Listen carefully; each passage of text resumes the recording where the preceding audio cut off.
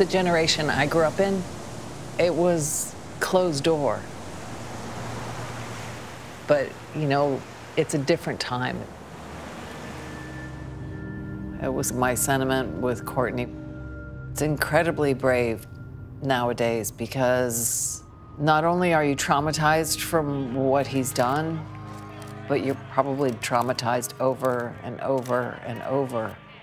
But he needs to be held accountable. And I hope she finds peace and whatever that means for her.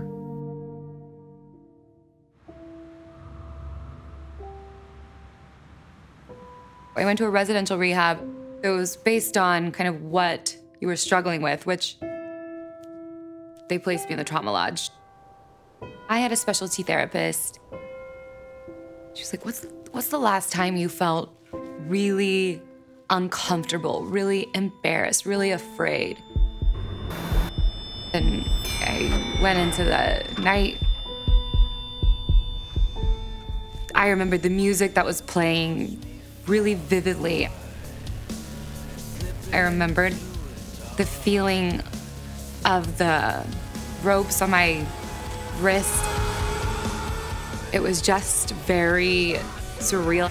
I felt like I was like back in that room, back in that moment.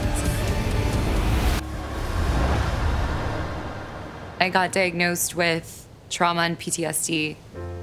My therapist said I had to repeat I was used, abused, and abandoned. So you're like trying to make sense of what happened. And that's what she had me repeat over and over. Like, it's not your fault you feel this way. It really stuck with me and it really made sense. That's truly what happened. I was used, abused, abandoned, just discarded after just having my life turned inside out.